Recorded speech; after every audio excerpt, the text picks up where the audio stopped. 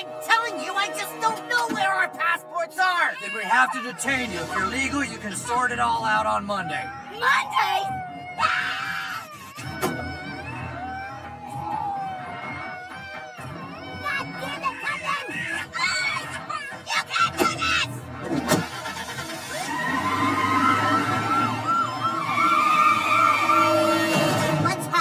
Country?